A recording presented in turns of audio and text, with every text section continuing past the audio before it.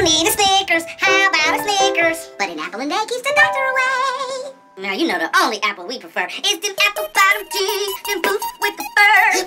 When we eat no that grease, what we prefer. But greasy foods clog your arteries, raise your cholesterol, and increase your chance of having a heart attack. Why not have salad in a crouton? More like sitting back eating ice cream on a futon. Great value granola bars. Find your balance.